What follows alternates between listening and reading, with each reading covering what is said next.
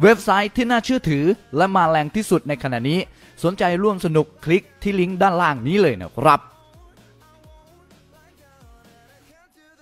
แค่ดีใจก็ยังผิด เนวินร่ายอดีตบุรีรัมย์เคยถูกห้ามใช้ฉายาเกิดมาเพื่อเป็นแชมป์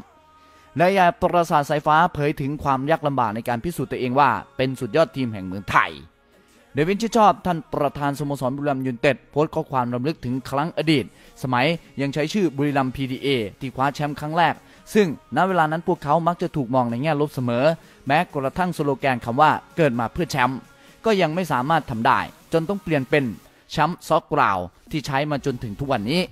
โดยนายใหญ่ทัพซอกกราวโพสต์ข้อความผ่าน Facebook ส่วนตัวของสโมสรว่า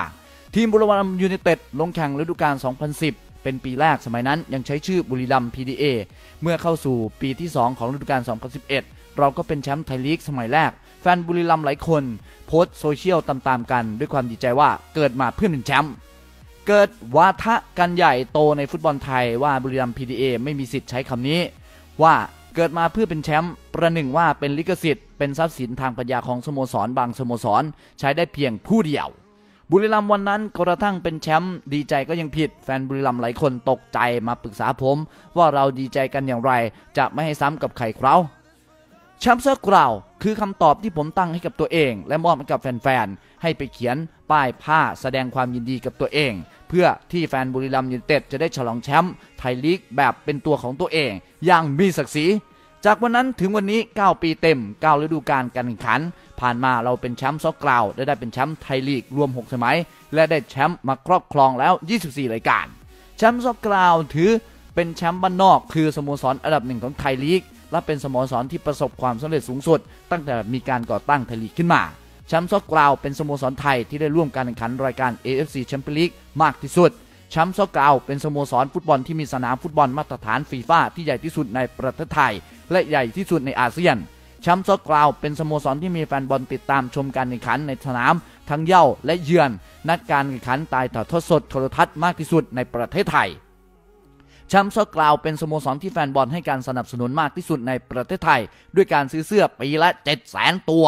แชมป์ซอกกราวเป็นสโมสรที่กำลังก้าวจะเข้าสู่ การเป็นสโมสรฟุตบอลมหาชน บริษัทจดทะเบียนในตลาดหลักทรัพย์แห่งประเทศไทย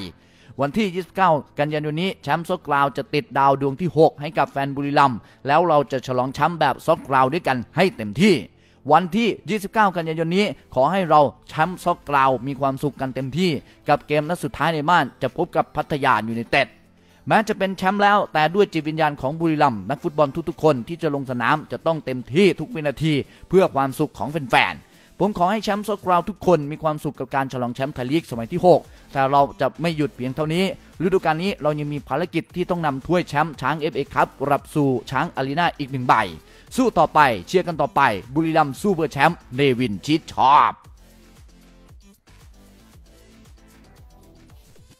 เว็บไซต์ที่น่าเชื่อถือ และมาแรงที่สุดในขณะนี้ สนใจร่วมสนุกคลิกที่ลิงก์ด้านล่างนี้เลยนะครับ